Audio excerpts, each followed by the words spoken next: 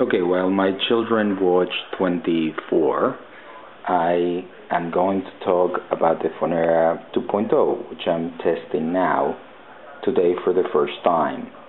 And what you see here is a Fonera, which has a Vuze uh, logo because we're also working with uh, Vuze with Azureus, so it's one of the features that the Fonera has. But I'll speak about the Fonera 2.0 in general. As you see, what you have here is a Fonera 2.0 with a USB port and a little USB hub that gives me four USBs. I have a Huawei module so I can have a 3G to Wi-Fi connection. This is the dashboard that is uh, managing this whole process and in order to manage it I just have to write Fonera on the Firefox. That's all. I write Fonera and I get to the dashboard and of course I have to be connected to the Fonera here in the Wi-Fi network. So that's how everything got started. And the Fonera is a very simple and very smart router. First, of course, it makes you a member of the Fon community and uh, you share a little Wi-Fi at home and you roam the world for free and you register. So I just I just uh, connected the Fonera. I'm not yet registered, so it's giving me the warnings. The registration is the same as with all the other Foneras. And what you see here is two rows. One relates to, to software and one relates to hardware.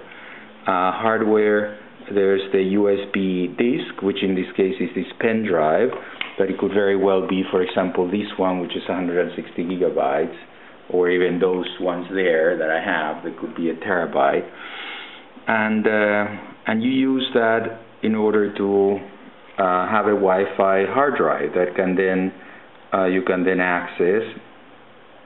As I said I'm connected through Wi-Fi. I can access it and I can uh, browse it as I'm doing now.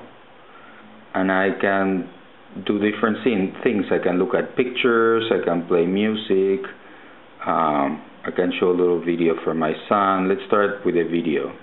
So I want to play a video.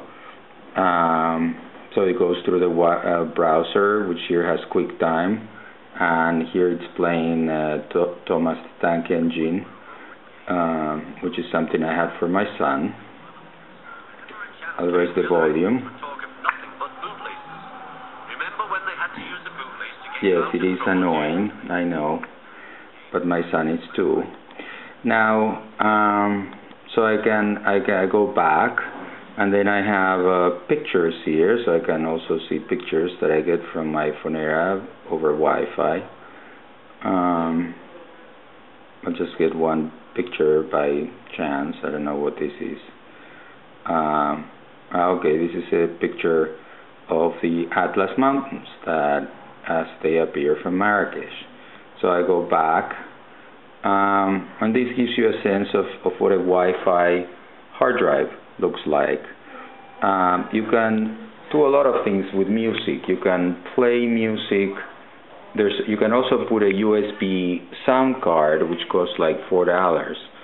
They're very cheap. That have an audio exit, so then you can play music in better quality speakers, like a whole system that I have there, or even the ones I have here. The Harman Kardon, you can play those as well. So you can play music from a hard drive or a pen drive into a stereo system without using your computer. Or you can play music from the pen drive into the computer. Or you can stream music people are working on Last.fm plugins and Jamendo plugins, so you can actually have music playing on your stereo, and you don't need um, you don't need the computer.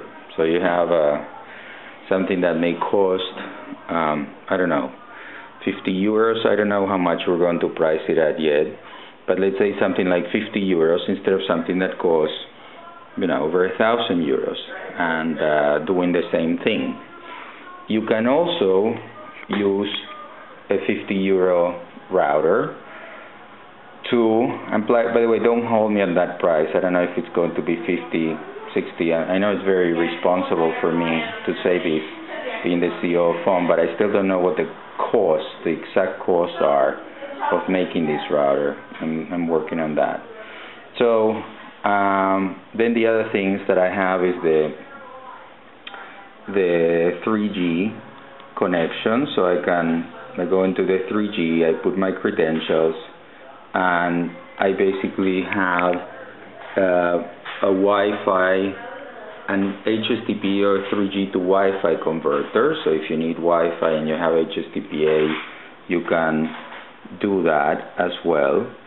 Um, there's also plugins for Vuze, uh, so you can have torrents uh, coming to the Fonera while you're doing something else. So movies can be downloaded into a, pen, a 4 gigabyte pen drive like these ones, or 160 gigabyte hard drive like that.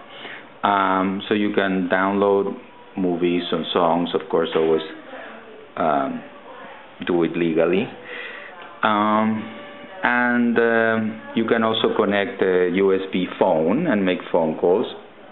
Uh, you can also connect a webcam here and a printer, like this printer. Um, well, actually, a lot of very interesting things for what this device for a Wi-Fi router, right? And they're all very easy to install, the plugins. You go into the plugin area, and you go to the internet, and you download a plugin that you may obtain from our plugin library, which everybody's welcome to contribute because this is all open source. So you obtain a plugin, you put it there, and uh, so you obtain a plugin. Uh, we're waiting here until the plugins login uh, come up.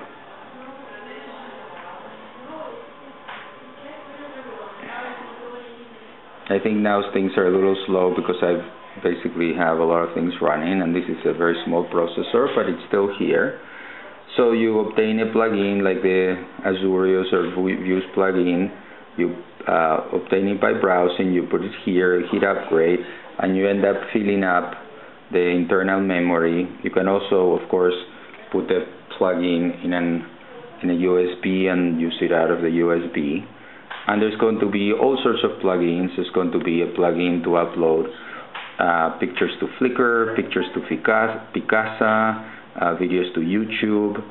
So if you have, let's say, a lot of pictures to upload, you stick them in the pen drive, you put them in the Fonera, and you leave.